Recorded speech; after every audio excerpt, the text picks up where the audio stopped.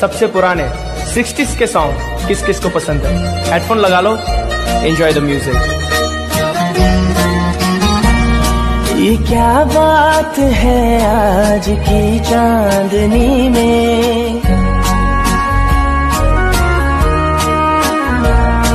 ये क्या बात है आज की चांदनी में कि हम खो गए प्यार की रागनी